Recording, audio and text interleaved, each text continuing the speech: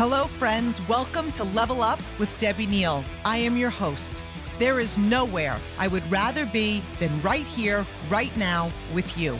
This podcast is all about leveling up in all aspects of our lives. Thank you for being here. I am so grateful. I'm excited to be on this journey with you. Together, we are leveling up. You ready? Hello, my Level Up family. This podcast is going to be released on the Monday before Mother's Day. And so it really hit my heart to talk to all the mamas out there building a business t- today. So as moms, we wear a lot of hats. We really do. Like I say all the time, my kids like, "Where are you?" I'm like, "I'm in the laundry room. I am a mm. maid. I am a chef. I am a person who does laundry. I'm a person who carpools. I'm a I, I wear many, many hats. Okay. And I want to share my story with you. Maybe you know it, maybe you don't. But my goal today is that you feel the gift of building your business for your kids. So, my story I was in corporate America. I worked in corporate America for about eight years, and I was one of those women who I just didn't understand stay at home moms. Okay. So, you, like, I'm in a business now where I like teach like why we don't judge and what it means when we judge. So there was no personal growth in my life. And I was one of those women who didn't understand stay at home moms. So realized at this point in my life, I was not a mom yet.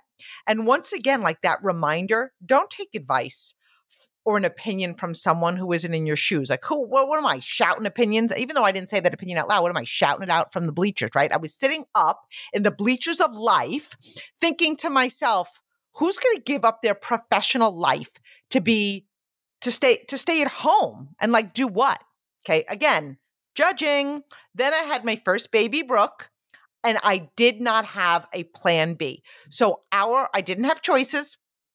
I had to go back to work. Our home ran on two incomes.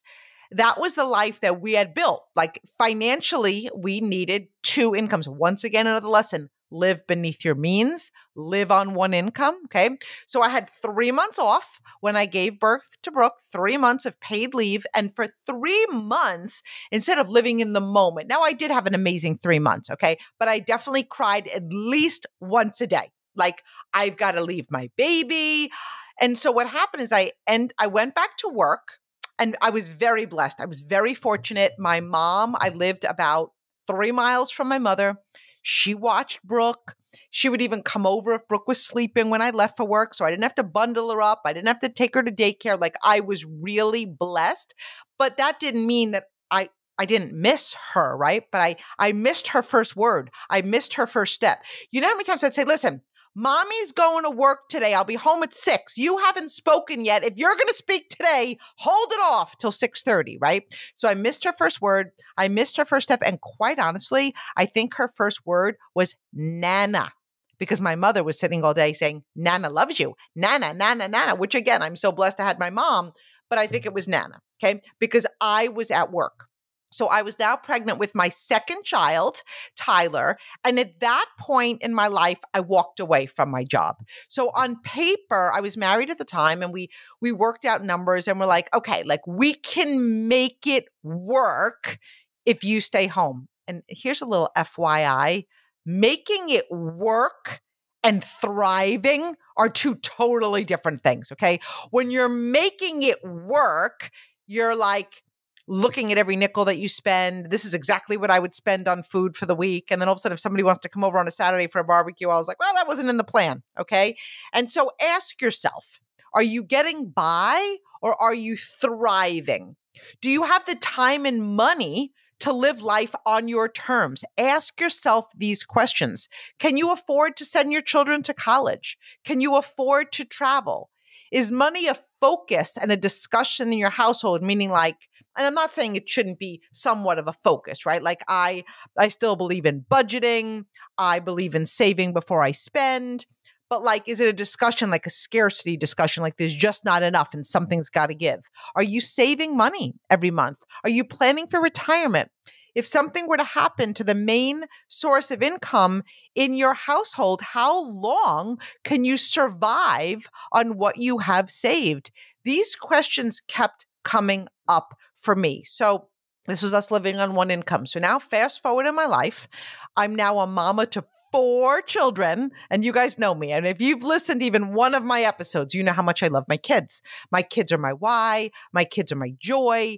Being home with them was magical and special. I'm now a full time stay at home mom. Now, with that said, I was looking for things for me to make money. Okay. Not, I didn't have a profession at this time. I walked away from my career. And so what I was I was watching seven kids under the age of 5 in my home. Okay. I was also working for a financial planner on the side, making appointments for him because I like, I didn't mind reaching out. I believed in the products he was selling. I believe in life insurance and all of these things that I had no issue calling people up and scheduling appointments for him. And he was at the time paying me $25 an hour. So I was happy to do it. I was home with my kids. Okay. So I loved being a stay at home mom. I was making money, but there was something missing. And so I was going to bed every single night and I was praying like, and I, like a prayer, almost like a conversation, like, God, I prayed for this. Like I prayed for the opportunity to be a stay at home mom. First, I was that mom that didn't think I wanted it. Then I was the mom that was praying for it. I'm now home with my kids. Why am I feeling this isn't enough and isn't enough? Like, what's wrong with me? I love my kids so much. But here's the reality my reality might not be your reality. A part of me had died. The part of Debbie Neal with the fire, the drive, the passion for growth, the competitive part. I wasn't growing. I wasn't expanding. I wasn't evolving. And let me tell you, no matter what relationship you think of in your life, right? It's really important to grow. It's important to grow with your partner. It's important to grow with your kids. It's important to grow with your friends, right? Because the definition of insanity is doing the exact same thing and expecting a different result. So I started mm-hmm. to dream about what the perfect profession for me would be. Okay. And these these are some of the things that were on my list. I wanted to be to be able to create time to be present I wanted a business that was merit based. See, I'm somebody that like I don't want everything to be even Steven. I want to come in and I want to know that if I work hard and if I overperform, I'm going to be rewarded for it. I don't I don't want to be in an atmosphere that like I could be performing at the same level as Tom, Dick, and Harry sitting next to me, and we're all going to stay at the exact same pay. Like I no, I'd rather pluck my balls out. Like I want merit based because I don't. I want to be challenged. Okay, I wanted the ability to grow. I wanted to determine my worth. I wanted. I was looking for something that would give me the ability to empower other people, to travel, to grow as a person, to become a leader, to develop leaders. I was journaling about a profession that would challenge me, a profession that would force me to level up. And then as I was journaling, it really hit me. You know what, Deb? I can be a great mom and also build a successful life as an entrepreneur. So I started to redefine what I thought of as a great mom. So we all have our definition. And quite honestly, it's not a matter of right and wrong. There's many moms out there that are like, my entire life is I just want to be home. I want to be home 24 hours a day. I want to be with my kids. I I don't want a professional life outside of what I do. Awesome. For me, I needed to be the best version of me so I could be the best mom that I could possibly. You ever hear like the term like you can't make somebody happy? They need to be happy with themselves. And so I'm the happiest when I feel like I'm growing and thriving and not to prove anything, but just in that constant state of evolution. So after five years of being a stay at home mom, this was my new definition of a stay at home mom. I, I redefined because sometimes we hear stay at home mom like, oh, a mom stays home. They just they're home. They stay home. No. So this was my new de- my new definition of a stay-at-home mom, present, fully present. Now, sometimes as a stay-at-home mom, we're physically there, but we're not emotionally there, right? You ever get so caught up doing laundry, cooking, and your kids like maybe play Legos with me or draw with me and you're like, "Later, mom's busy. Mom's busy." I'm like, I need to redefine like what if I manage my time better and I spent a few hours of focus time with my kids, paid somebody else to do my laundry and cooking, and then and then built a business. Okay, so fr- present, there for my kids, committing to growth. to me, that's was a new definition of a stay at home mom. Like I wanted to commit to growth, becoming my best self, challenging myself, being driven. I wanted my kids to look at me for more than the mom who made their lunch and wiped their tears. Now, you guys, those are my favorite jobs. I loved making their lunches. And I didn't love when they had tears, but I loved being there. But I also realized that I kind of could be a badass also. Okay. I wanted to show them how to reach for the stars. I wanted to show them what hard work looks like. Because remember, I'm developing my kids, I'm developing them into men and women. Of course, now I happen to be doing this podcast, but my children have an incredible father also. So they're blessed on both ends. But I'm just talking about me and my experiences. Okay.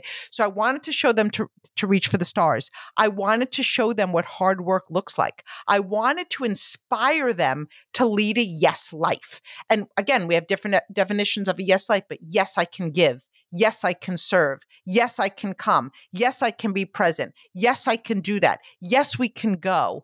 I wanted to show them the world and traveled. I wanted them to dream big. So, how can I inspire them to dream big if I had stopped dreaming?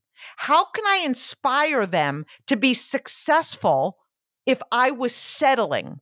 How can I challenge their very best if I'm not pushing me to be my very best.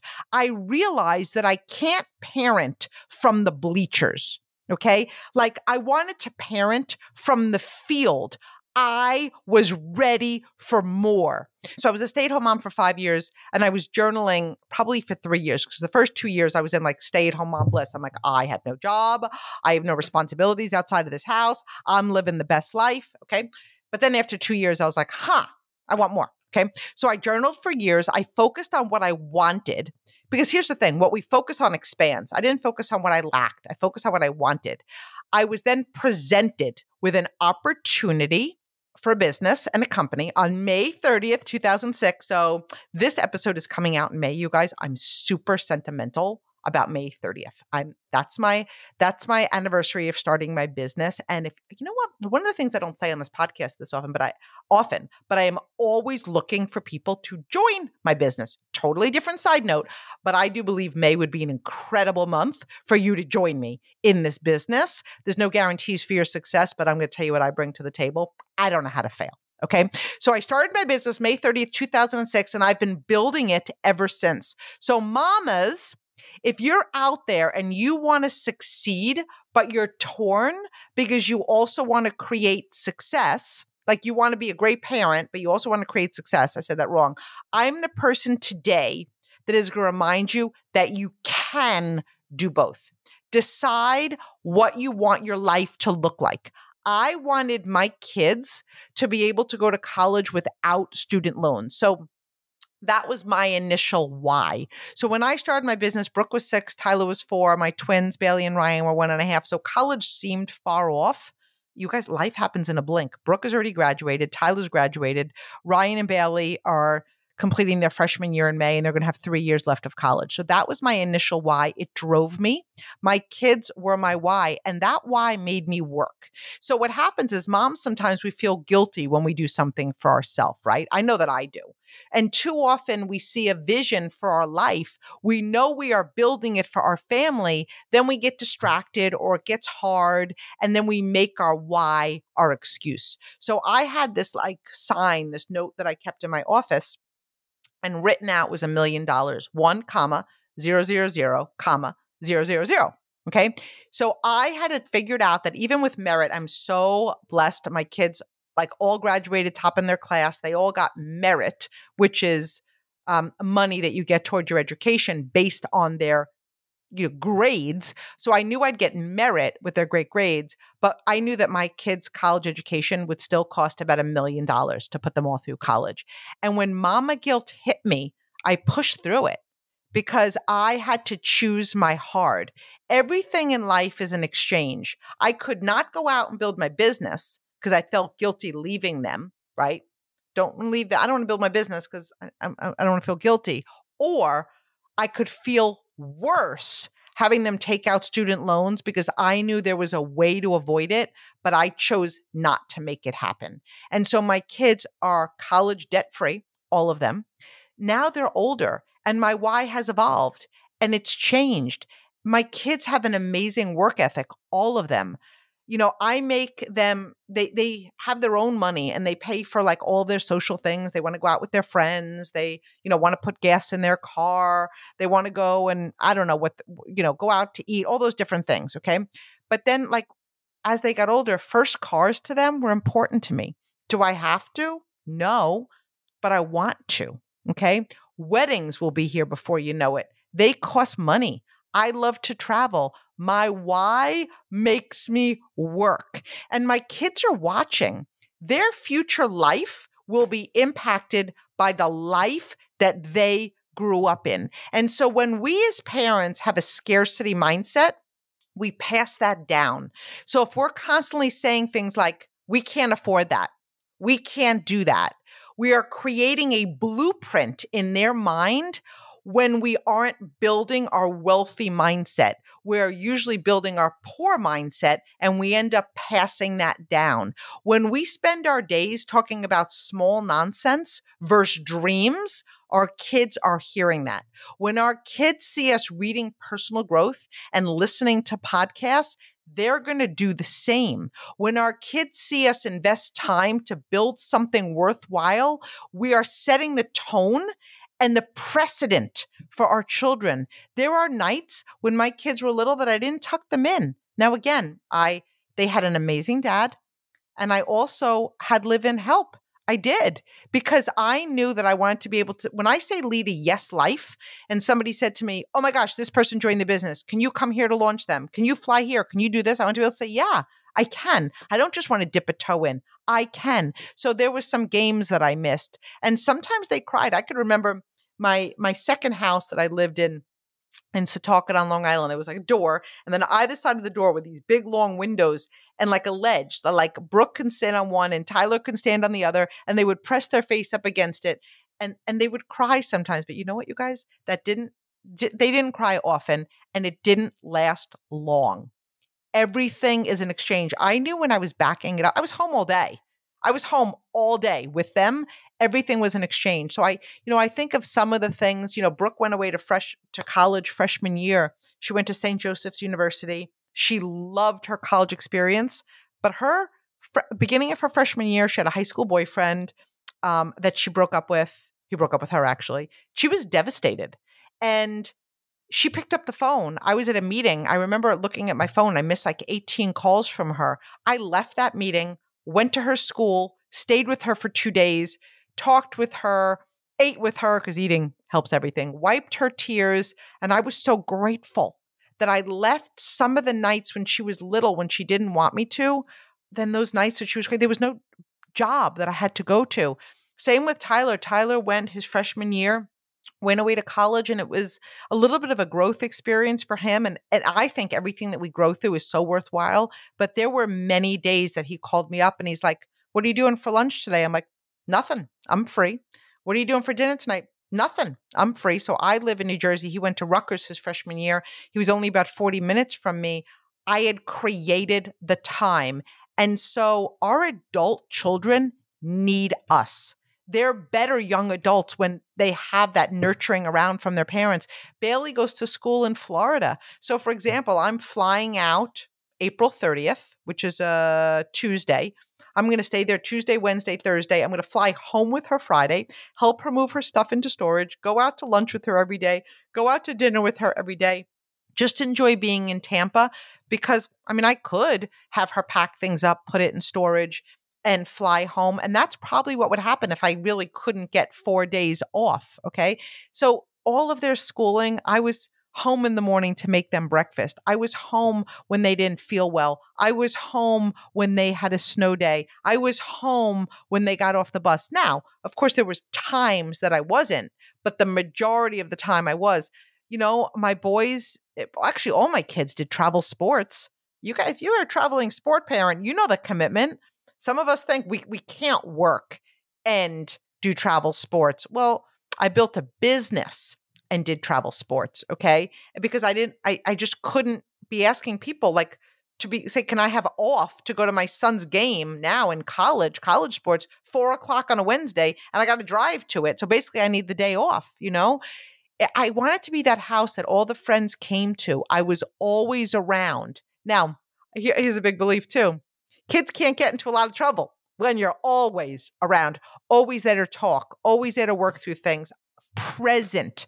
Now, being present doesn't mean that I physically wasn't there sometimes, but present means when I was there, I was there, which was 95% of the time. Okay. I was always available when it mattered. And today, my kids are young adults, and my time with them is priceless.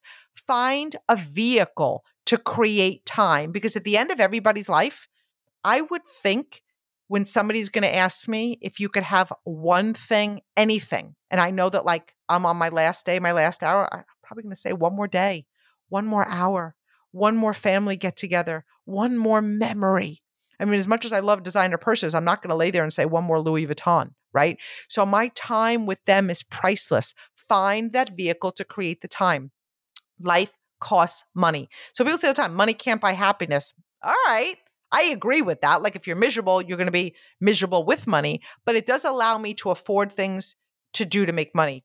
Traveling, you know, costs money. Everything costs money. If we sit on our potential and have regrets, our kids see it. Mamas, we are molding our kids. Now, that of course dads are molding their kids too, but but mothers a lot of times we have kind of like mothers and dads, we have different roles. And a lot of times the mother is the nurturing role. You can have the nurturing role and the entrepreneur role, okay? But you know, so I don't want to exclude dads, but seeing that it's Mother's Week, I'm I just I'm just talking a little bit extra to all the mamas out there. Being a good mom is also sticking to our word, living in our commitment. Your kids are watching. Like, don't you want to bring up kids that when you say you're going to do something, they say they're going to do something that they follow through?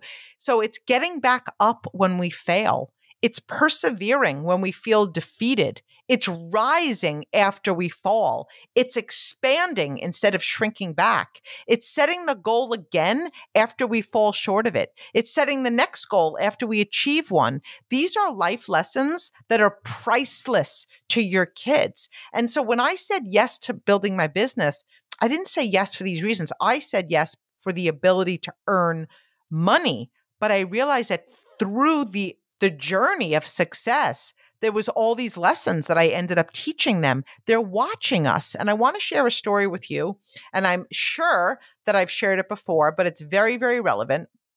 So I took Brooke with me when I was speaking for a big event for my company in Canada. And there were thousands of people there. And Brooke saw like from day one, like day to day operations of my business. She saw me on my computer. She saw me on my phone. She saw meetings take place in my house. She saw me go, you know, to launch new people in the business. She saw me do presentations.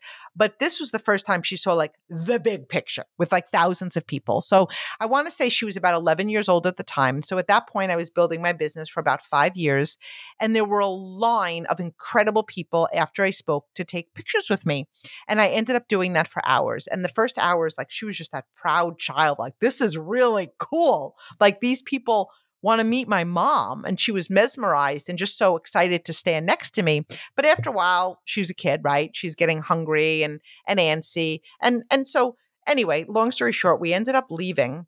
And as we walked away, she just kind of looked at me and she was like, Mom, like, why did they want their picture with you? And at that point, like, first of all, I feel so blessed and honored when people ask me for pictures like it's a very very humbling experience. But when brooke said that like a bit of my ego like showed up i'm like sweetie pie.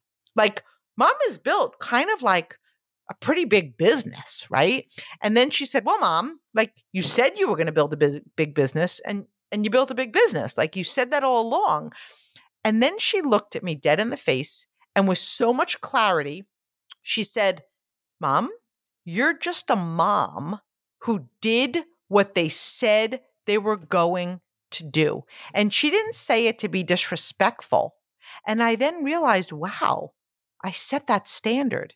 If I say something to my kids, they expect that of me, that I'm going to follow through. So it was normal to them what I had achieved. And so when I, I dug a little deeper with her and she's like, Mom, like I have friends that are their moms are in your business and they say they're going to do something and, and then they don't. They just don't. And then they just don't bring it up again. And their daughters know they're watching them. Like, why do they do that? And she didn't mean it from a judgment point of view. I just want to share a child's perspective. And I actually did a, a podcast with Brooke. She was my first guest. I don't know. It came out, I believe, on her birthday on 11 14 of maybe this past year or the year before. But anyway, it's a great episode because she she talks about her perspective of me building the business. So I want to ask you this. I want to call on your your greatness. Have you looked your kids in the face and declared victory over your business? And then like are you creating that? Have you set a goal that you aren't hungry at the moment to achieve? Have you told them that you're earning a trip that right now you are not on target for, and you're praying that they're going to forget that you declared it. But here's what I'm going to tell you they're not going to forget. They might not call you out on it, but they're not going to forget. Are you allowing your kids to be a distraction? Now, my kids are my world. I love them with everything I've got. My life is busy. So it's like between college and games. And my daughter Brooke is moving again. So now she lives an hour from me. She's moving an hour even further. But none of that is a distraction or an excuse. It's my reason for growing to the next level version of me. Mamas, give yourself grace. You can be an amazing mother and build a successful business. Remember, we create what we focus on. Release the guilt. Focus on the rewards. Focus on the lessons. My kids are all thriving. They appreciate hard work. They are competitive. They are visionaries. They push themselves to be better. Brooke is a vice president in my business and in my company. How many of you would like to build your business with your children? But here's the thing they're watching you. Give them something to join. Go out there and pave the way. Don't wait for them.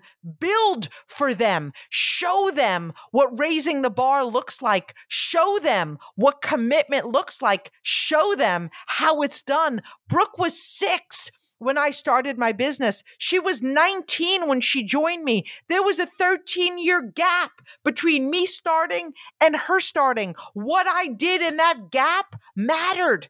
If I treated my business like a hobby, she probably would have chosen getting a job over building with me. If I wasn't where I was in my level of success after all that time, she probably wouldn't have seen the magnitude of what was possible. She is the reason for her success, and I'm not taking any of that away from her. She built her business, but I paved the way. She had a path. She had a bar. And my wish for all my kids is that they build a better life than I did. We all want better for our kids. I want them to outdo me. My job is to set the standard. We hear all the time that kids are a product of their upbringing. We get to create that. So I want to wish all of you incredible mamas a very, very happy Mother's Day. There are many of you that aren't even mothers yet. Build it now. I didn't build a plan B before I was a mom. I didn't think I needed it. I didn't think I wanted it.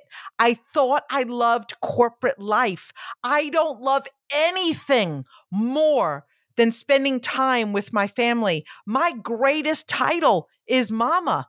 Mom. They don't call me mama. I just say that. Okay. You can be an incredible mom and have a successful business. I'm happiest when I'm growing. I'm happiest when I'm pursuing passions outside of my kids. As moms, we need our own life too. Our babies eventually grow up. I'm feeling that now. I could not imagine being out of work for the last 20 years and now like being like, oh, I have time. I should go applying for jobs. And I'm not knocking it. It's just not me. And as much as I love my kids being around all the time, now Ryan and Bailey are going to come home from college and Tyler still lives here for the time being. So that my house is going to get crazy again, which is great.